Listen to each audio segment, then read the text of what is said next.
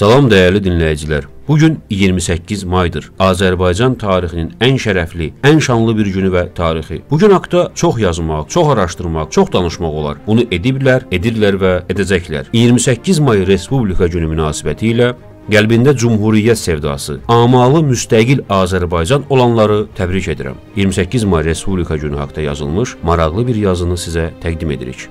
Bu gün 28 maydır. Sevincli və hüzünlüyük. Sevincliyik, çünki 1918-ci ilin bu günü Şərqin min illik qaranlıqlarına ilk dəfə İstiqlal günəşi doğdu. Məhəmməd Əmin Rəsulzadə və dava yoldaşları cəhalətin, xurafatın, köləliyin, feodalizmin caynağında inləyən böyük bir coğrafiyaya ümid oldular. Çağdaş mədəniyyətin toxumlarını səpdilər. Hüzünlüyük, çünki aradan bunca zaman keçdikdən sonra Azərbaycan Cümhuriyyətinin təməl daşları olan dəyərlərdən hələ də xeyli uzaq. Ürəklərimiz hələ də azadlıq, hüquq, ədalət, çağdaş mədəniyyət həsrəti ilə alışıb yanmaqdadır. Odur ki, 28 may biraz sevinclə, biraz hüzünlə anmaq yerinə 28 mayı anlamağa çalışmaq lazımdır. 28 mayı əlbəttə anacağıq, ancaq 28 may ilk növbədə anlayacağıq, anlamağa dərk edəcəyik. Bəli, bu sıradan bir gün deyil, lakin haqqında sadəcə bəlağətlə, təntənə ilə danışılacaq bir gün də deyil. 28 may üzərində baş sındırılacaq, dərin-dərin araşdırılacaq, hər an, hər saniyə öyrəniləcək, başqaları başqalarına da öyrədiləcək bir gündür.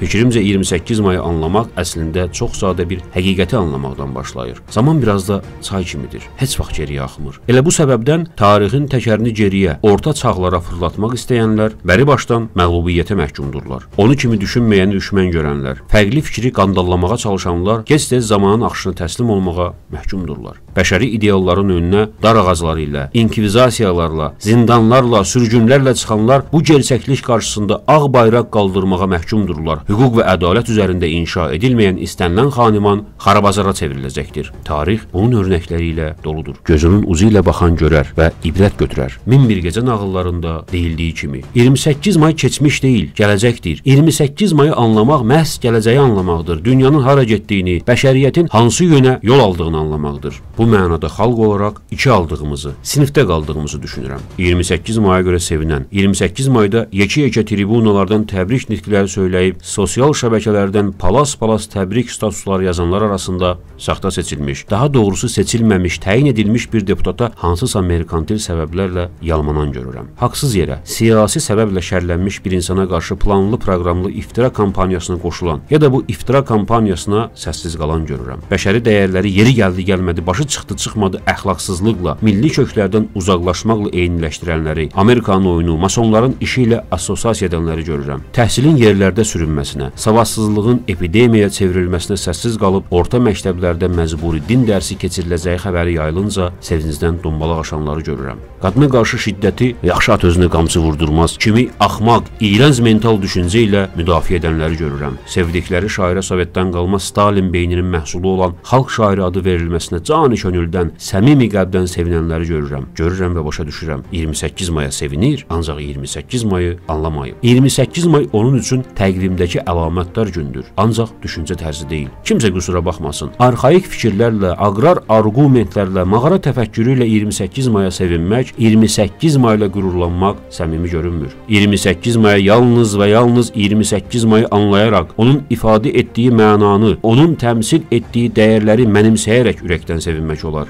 Yuxarıda da yazmışıq axı. 28 may bizə keçmişi yox, gələcəyi işarə edir. Elə bir gələcəyi ki, hüquq və azadlıqlar üzərində inşa olunur, bilgi və kültür üzərində ucalır, çağdaş mədəniyyətlərlə birlikdə yüksəlir. Elə bir gələcəyi ki, orada bütün fərqliliklərə yer vardır. Elə bir gələcəyi ki, orada söz zopaların deyil, zəkalarındır. Elə bir gələcəyi ki, onun təməli qorxuya deyil, sevgiyə dayanır zamanın bir çaya bənzədiyini, heç vaxt geriyə axmayacağını anlayanların, tarixin təkərini geriyə, orta çağlara fırlatmağa çalışanların məğlubiyyətə məhkum olduğunu dərk edənlərin, inkvizasiyalara özənməyib intibaha inananların, keçmişə ilişib qalmayaraq gələcəyə güvənənlərin 28 mayı qutlu olsun.